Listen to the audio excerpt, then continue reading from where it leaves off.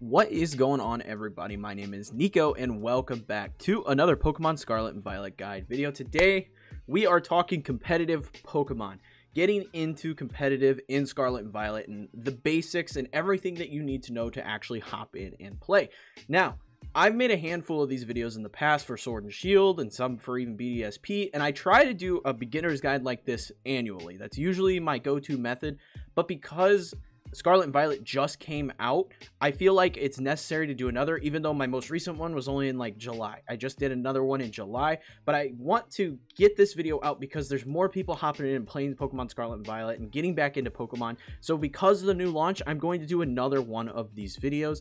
So if this is your first time here on the channel, make sure you are sub for more Pokemon Scarlet Violet content like this in the future and check out the Discord where people over there hanging out playing Pokemon together. But let's get into competitive Pokemon. So I've broken this down into four categories. This is typically what I do. Usually it's three. I've added an additional category this video. First up is why you should try competitive Pokemon because a lot of people might be wondering, you know, what's it all about? What's the point of it? But also I have the basics, team building, and playing the game. Those are the categories that I have included here that will help break down stuff so you guys can get into it. Now, I get a lot of comments on these videos regarding like, oh, you you you give little information here and a little information there, but nothing goes super in depth. If I went in depth on everything that happens in Pokemon competitively, we would be here over an hour. We would be here over an hour. My hope is my brother just got back into Pokemon and he has expressed interest into getting into competitive play. My hope is that I could do a mini series with him and go over literally everything that there is in competitive Pokemon and then upload it for you guys while I teach him the game. That would be ideal, but I got to get back with him on that. But today, we're just going to go over some basic stuff and I'm going to provide some information regarding it. So, why you should try competitive Pokemon. First up, if you're new to competitive Pokemon, it's a brand new side of the game. It's some stuff that you've probably never experienced before, and it just adds a whole lot extra to do in the game, which is the next step.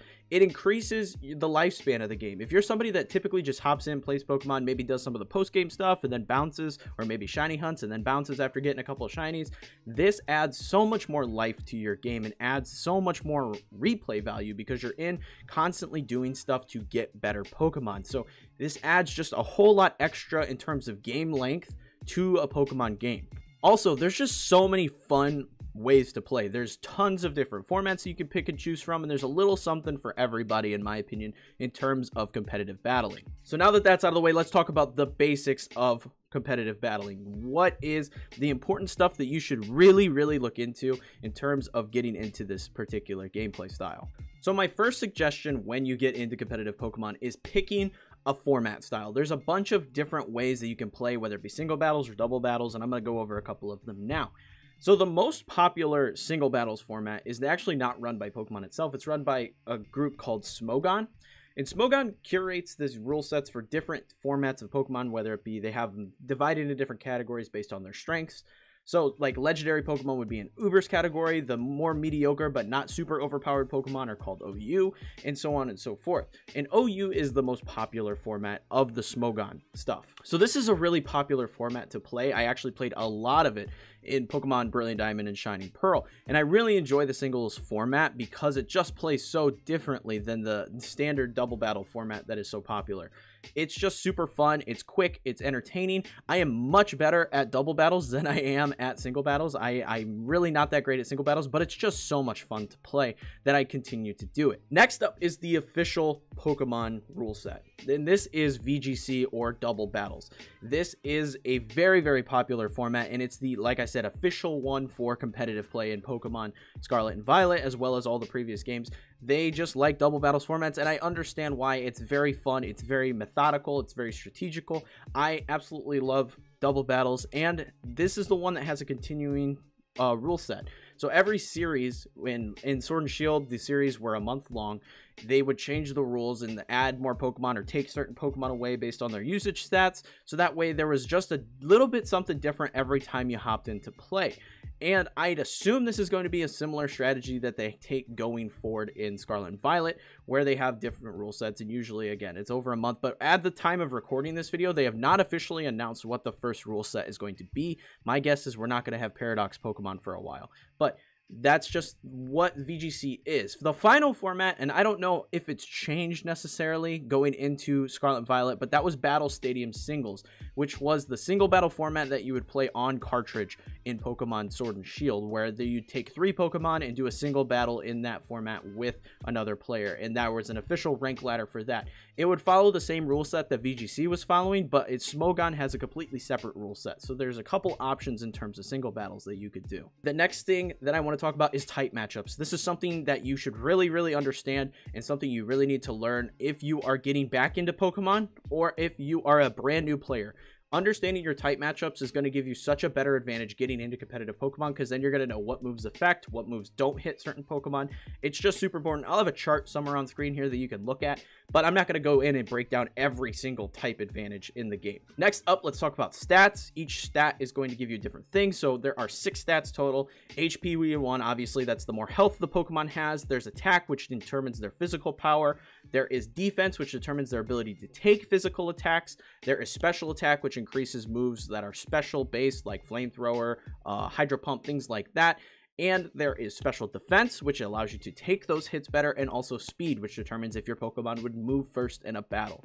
These are super important to know and understand, and they're also important in another step that I'm going to talk about here in a second. But first, I want to talk about physical and special attacks. These are indicated by these icons on screen here all you have to know is that some are physical, some are special, and the type of uh, Pokemon that you have, whether it be, you know, a physical attacker or a special attacker. For example, let me bring us over to Showdown. A little spoiler for the team I've been working on that I'm going to show in a video. But, for example, Quaquaval has an attack of 120 has an attack of 120. This would indicate that this Pokemon is a special attacker. Look at the special attack stat. It's 85. This is not going to be a Pokemon that's going to be using special attacks. You're going to want to focus on your physical attacks. So as you can see, for example, this is the physical icon. This is the special icon. That's all you need to know. This Pokemon is going to do more damage with these attacks than it would with something with this symbol. That's just the breakdown, the very basic nature of it. The next thing I'm going to talk about are non-damage moves because a lot of people when they're playing through Pokemon will only have damaging attacks on their Pokemon. And while this is okay on some Pokemon, it's not going to be the case in a lot of scenarios. So things like Protect, Thunder Wave, Leech Seed are all viable options in competitive Pokemon. And you need to start learning some of these additional moves because you're going to start seeing them a lot when you hop into competitive play. For example, things like Wish or uh, Protect are super, super common and because they provide this sort of effect that can uh, prolong a battle or change up the course of a battle, they are very important. So learning these non-damage moves is very key. Next up, we're talking about EVs and IVs, and this is something that I always bring up and break down in any of these videos because it is super important, something that a lot of people don't understand. So starting with IVs, these are stats, individual stats that Pokemon are born with and cannot be altered outside of using bottle caps. That is the only way to change them in the game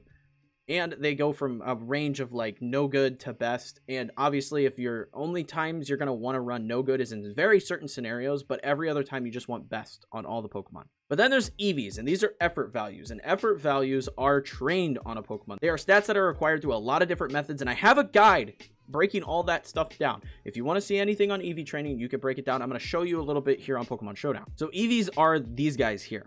As you can see evs each EV can have 252 max in it. There are a total of 510 EVs that you can use, and every time you want to power up a certain point, you have to use four EVs. Four EVs raises the stat by one point. So really, there's only 508 viable EVs that you can use. So as you can see on my Quaquaval here, we have 252 and 252, and then a four, just to add an additional point somewhere else. That gives me 508. The extra two don't matter because they, they don't do anything. But these are trained. There's a bunch of different methods. Like I said, check out the EV training video if you want to know more on that. IVs are over here. This is obviously the best, but you can also change it to like zero, and that's a no good nature, right?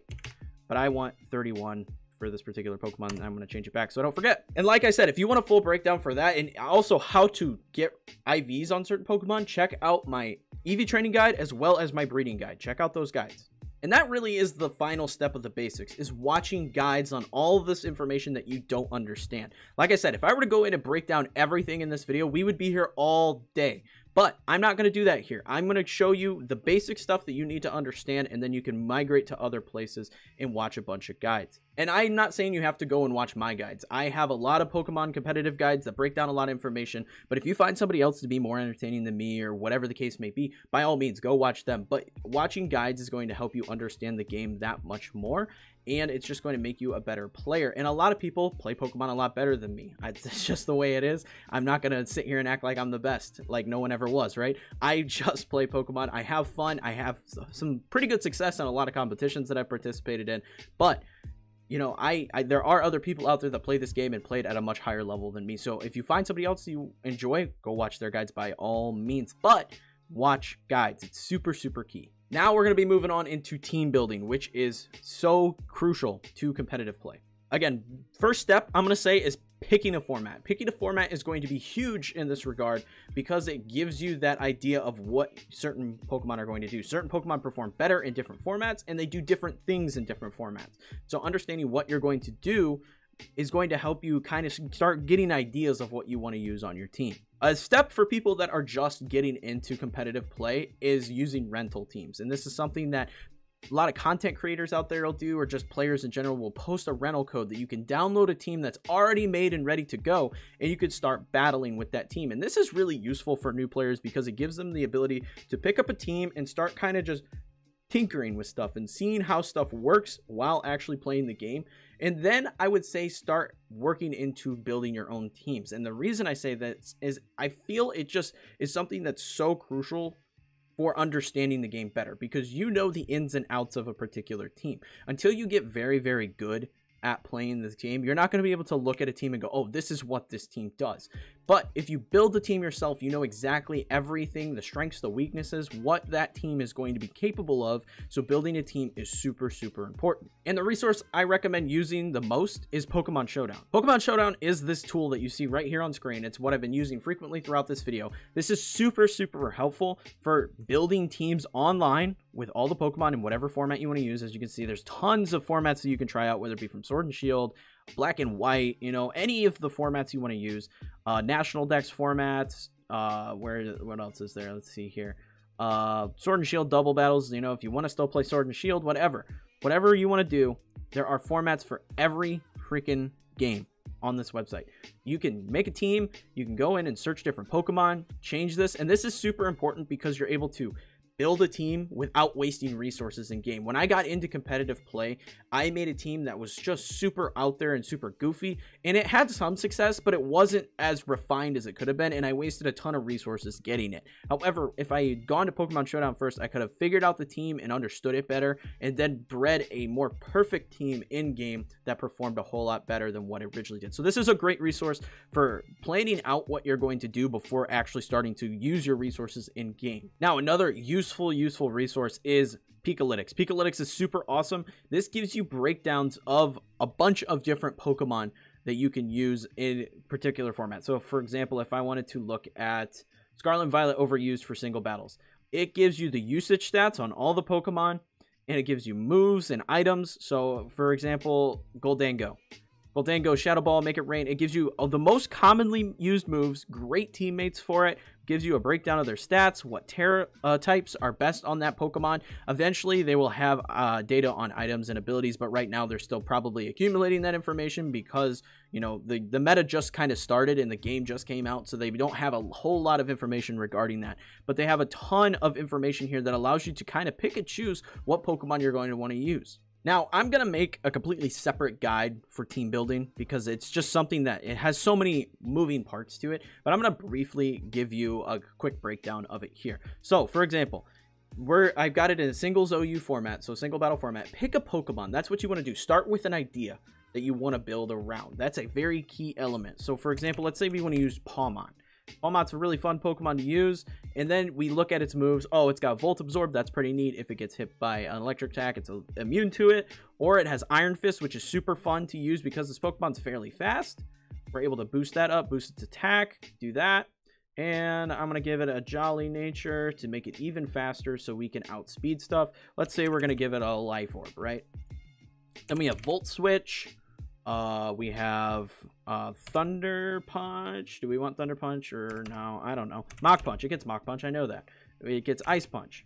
And it gets doesn't get Thunder Punch. It does get Thunder Punch. There you go. There's your move set, right? A bunch of punches that are going to get bonus damage because of the Iron Fist ability. Now we have our first Pokemon. We have an idea of what we're going to do.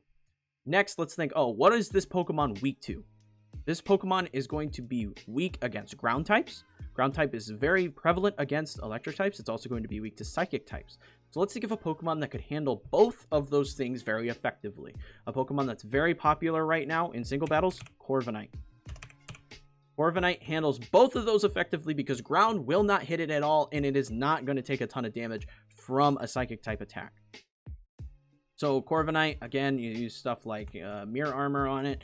Uh, Body Press is super popular because of its high defensive stat. Max out that HP, max out the defensive stat, put a little in special. Uh, give it a nature. Let's see here. Do, do, do. Where, which nature am I looking for? Careful, careful. Buff that special defense plus the spe uh, minus the special attack. And the natures, again, are something that you have to learn on your own. I'll put a bunch of information on screen for you. But have that Pokemon. This Pokemon is going to be able to handle anything that uh, is going to affect Pawmot very heavily. And then we put U-turn. But then we got to think, oh gosh, what does affect Corviknight? What affects Corviknight? What is going to be a pain for Corviknight to deal with? Corviknight is going to be hit very hard by uh, electric attacks, fire type attacks, things of that nature. So a great Pokemon to handle any electric type attack is going to be Clodsire.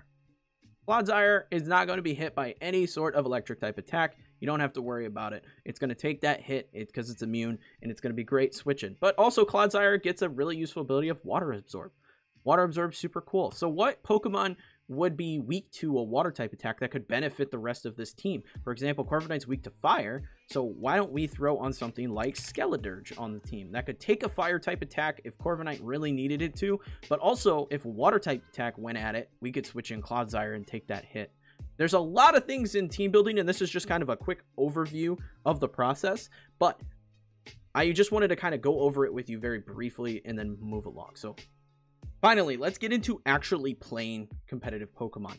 Playing the game is something that's so, so important. Like, you can do all these other steps, but until you actually play the game, you're not going to really be able to benefit. Team building versus playing is two very different things. So, first thing to understand is that competitive Pokemon is beyond frustrating. It is so incredibly frustrating a game because there's so many RNG elements to it whether it be status effects like uh, paralyzation. For example, you can go through a whole game, be paralyzed, and hit every attack, or some games you'll be paralyzed one turn, paralyzed another turn, paralyzed, paralyzed, paralyzed, right?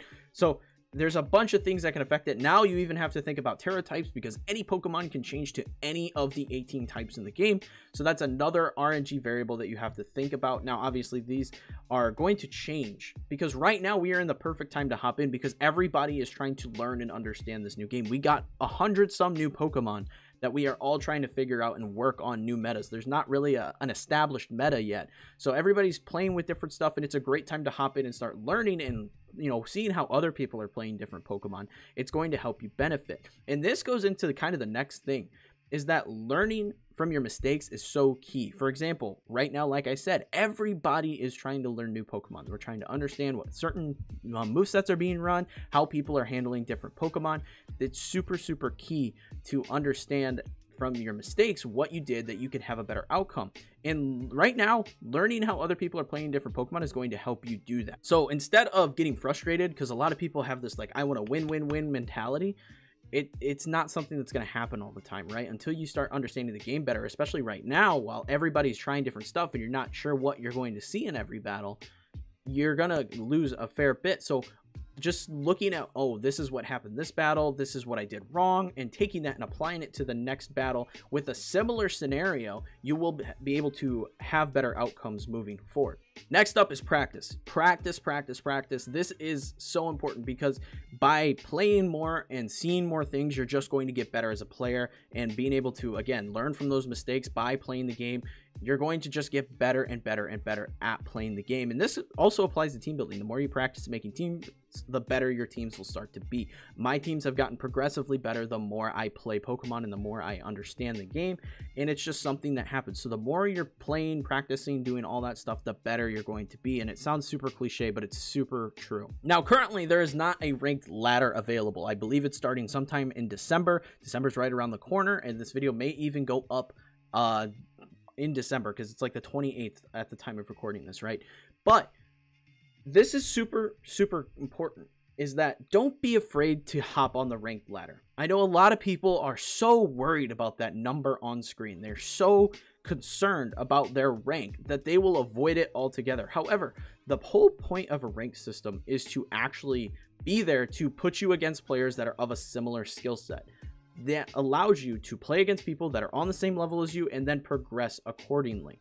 That is super important. And the only person that sees that number on screen is you. So it doesn't matter what the number on screen is. Just hop in and play battles against people. And the ranked system is the best way to get in and actually practice. Because if you hop into casual, the casual lobbies don't follow the same rule sets as the competitive lobbies. The ranked battles have their own rule sets, and casuals are just a free for all out there. They, it's the wild west of competitive Pokemon, right? So if you want to play against stuff that you're actually going to see on a regular basis, you need to play in the competitive ladders. And again, it's just a number. It doesn't really matter. The final thing that I can tell you is have fun. This game is again so frustrating but you need to be able to take your losses and just enjoy it right play the game for fun and not to be the very best like no one ever was right i keep using that joke it's so stupid every time but seriously have fun for example a lot of the teams that i used way back in uh, sword and shield a lot of those teams are goofy and they have silly Pokemon in them. And the reason they have silly Pokemon in them is because it adds a little bit of spice and people aren't expecting it. And I think that's super fun. But if I were to play in a normal competition where it's a best of three instead of a best of one, my teams just simply wouldn't hang because they would know the goofy thing that I'm about to do and they would be able to counter that the next game, right? But in a best of one, which is what the rank ladder actually is, those teams thrive. So go in and have fun with it. Have goofy teams like I do or do whatever makes you happy. If you want to play with just meta Pokemon, play with just meta Pokemon, but enjoy what you're doing. But that is going to be it for this video, guys. I hope you found it entertaining and helpful. And if you did, leave a like and smash the subscribe button button for more competitive Pokemon content like this in the future. Also, be sure to check out the Discord. Like I said, it's super helpful, super important that you guys check it out because there's a bunch of people in there working together, complete the Pokedex, doing shiny hunts together, doing all this, that, and the other. Very fun place to be. And also check out Dubby. It is my energy drink partner add some to water, shake it up. Delicious flavors. It is 10% off with code Kneeckoh. But check out this video where I break down EV training if you want to see more competitive stuff. EV training, check it out. Very important. And breeding. Breeding competitive Pokemon is super difficult unless you have all the information you need, which is right here. Check it out. But like I said, that's it for this video. I hope you all found it entertaining and uh, catch you in the next one. Peace.